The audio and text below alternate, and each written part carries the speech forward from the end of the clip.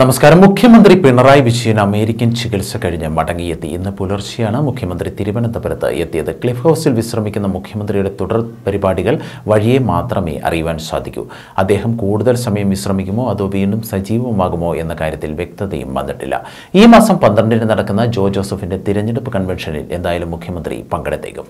തിരഞ്ഞെടുപ്പ് പശ്ചാത്തലത്തിൽ കേരളയിൽ കല്ലിടിയിലടക്കം നിർത്തിവെച്ചിരിക്കുകയാണ് ഇപ്പോൾ. ഇത് വീണ്ടും പുനരാരംഭിക്കുമോ എന്നതടക്കം വഴിയെ അറിയുവാനും സാധിക്കും. മുഖ്യമന്ത്രിയുടെ നിലപാടാകും ഇക്കാര്യത്തിൽ നിർണായകമാകുക എന്നത് ഉറപ്പാണ്. അതേസമയം പത്താം തീയതി മുഖ്യമന്ത്രി മടങ്ങിയെത്തുമെന്നായിരുന്നു സൂചനകൾ. ഇതിനിടെ അദ്ദേഹം അമേരിക്കയിൽ വിശ്രമിക്കുന്നുവെന്ന സൂചനകളും ഉണ്ടായിരുന്നു. എന്നാൽ തിരഞ്ഞെടുപ്പ് വേളയിൽ തന്റെ സാന്നിധ്യം വേണമെന്ന നിലപാടിലാണ് മുഖ്യമന്ത്രി നാട്ടിലേക്ക് മടങ്ങിയെത്തിയിരിക്കുന്നത്. ഉപതെരഞ്ഞെടുപ്പിനെ സംബന്ധിച്ച് മുഖ്യമന്ത്രി നേതാക്കൾക്ക് മാർഗനിർദ്ദേശങ്ങളും നൽകിയിരുന്നു. യു ഡി എഫിന്റെ സിറ്റിംഗ് സീറ്റ് എന്ന നിലയിലാകരുത് പ്രചാരണമെന്നും സീറ്റ് തിരിച്ചുപിടിക്കാൻ വേണ്ടിയുള്ള പ്രവർത്തനമാണ് കാഴ്ചവെക്കേണ്ടതെന്നും മുഖ്യമന്ത്രി നിർദ്ദേശിച്ചിരുന്നുവെന്നും വെളിപ്പെടുകയും ചെയ്തിരുന്നു. തൃക്കാക്കരയിൽ പന്ത്രണ്ടിന് മുഖ്യമന്ത്രി എത്തുന്നതോടെ പ്രചാരണം പുതിയ തരത്തിലേക്ക് എത്തും ഡോക്ടർ ജോ ജോസഫിനെ തൃക്കാക്കരയിൽ സ്ഥാനാർത്ഥിയാക്കിയതും മുഖ്യമന്ത്രിയുടെ അമേരിക്കയിൽ നിന്നുള്ള ഇടപെടലുകളാണ്. സി പി എം സംസ്ഥാന സെക്രട്ടറി കോടിയേരി ബാലകൃഷ്ണനും ചികിത്സയ്ക്കായി അമേരിക്കയിലാണ് ഉള്ളത്. അതുകൊണ്ട് തന്നെ കോടിയേരിയും കൺവെൻഷനിൽ അസാന്നിധ്യമാകും.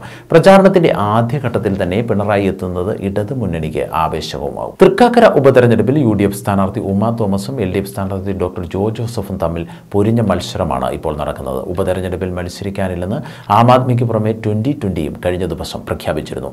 രാഷ്ട്രീയ പ്രാധാന്യമില്ലാത്തതിനാലാണ് തൃക്കാക്കരയിൽ മത്സരിക്കാത്തതെന്ന് twenty twenty chief coordinator Sabu M Jacob അറിയിച്ചു. ആം ആദ്മി പാർട്ടിയുമായി ചേർന്നെടുത്ത തീരുമാനമാണ് ഇതെന്നും അദ്ദേഹം വ്യക്തമാക്കിയിരുന്നു.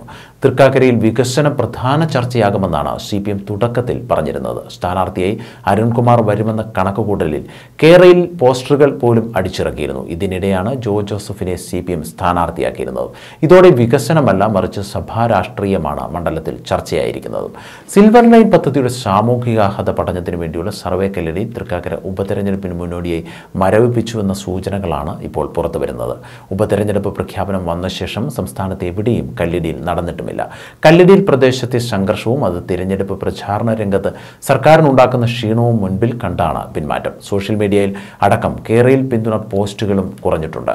ചിലർ കേരയിൽ കവറേജ് ഇമേജ് ആക്കിയതും മാറ്റിയിരിക്കുന്നു. മറ്റു ചില സഖാക്കളാകട്ടെ വിവാദമായ കേരയിൽ പോസ്റ്റുകളും ഹൈഡ് ചെയ്തിരിക്കുന്നു. വ്യാപകമായി തന്നെ നേതാക്കൾ കേരയിൽ പോസ്റ്റുകൾ കുറച്ചിട്ടുമുണ്ട്.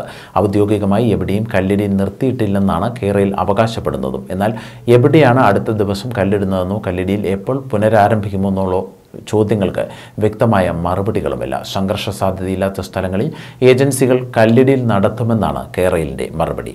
ഉപതെരഞ്ഞെടുപ്പ് പ്രഖ്യാപിച്ചപ്പോൾ ജനരോക്ഷം ഭയന്നാണ് കല്ലിടിയിൽ നിർത്തിവെച്ചതെന്നും എവിടെ കല്ലിട്ടാലും പിഴുതെടുക്കുമെന്നുമാണ് പ്രതിപക്ഷത്തിന്റെയും നിലപാട്.